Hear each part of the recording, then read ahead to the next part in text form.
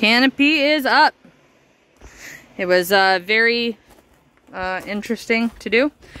Um, we also have a river running through it. uh, we're probably going to fill this in with gravel, to be perfectly honest with you. Um, and then kind of slope this up to where I was clearing the other day. Hi, Ben. We have light inside again.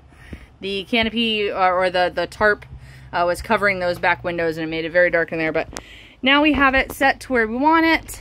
Um, we can be out here even if it's raining. We're thinking about camping out here in the next couple of days. We've got a couple of stumps we need to burn out. And, um, well, why the heck not? Traipsing through the deep dark wood. Oh, hi grapevine. Look at all the grapes.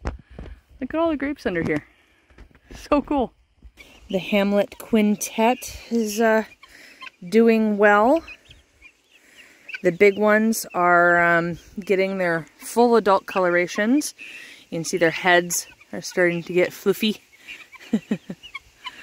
and uh, the color on their faces is changing and they're they're getting their their little um I don't know what they're called, helmet nubs, little bumps on their heads. Hey guys. Nothing? You gonna hide from the camera? Throw. Here, hi. How's it going? Hey everyone.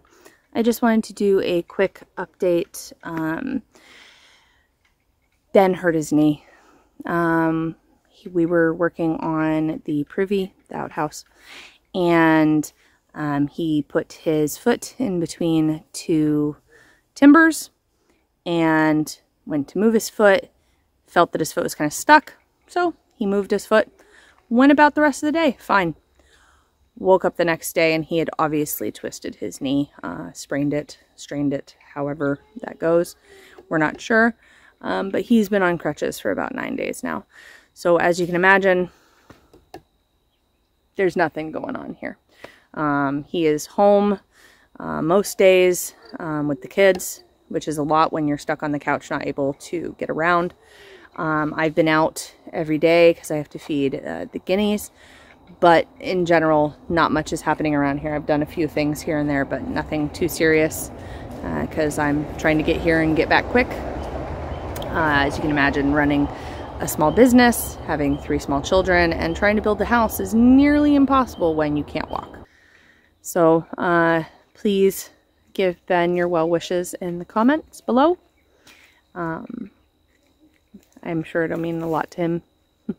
so Thanks for watching, and uh, hopefully next week content is much, much better.